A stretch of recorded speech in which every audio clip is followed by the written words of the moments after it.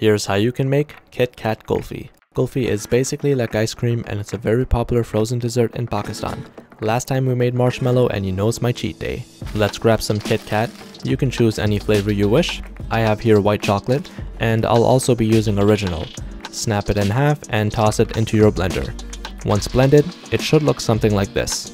Then in a blender you can add whole milk, heavy cream, milk powder, condensed milk, your Kit Kat crumbs, and some sugar or salt.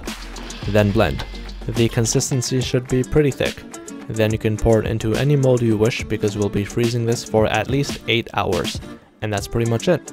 Hope you enjoy.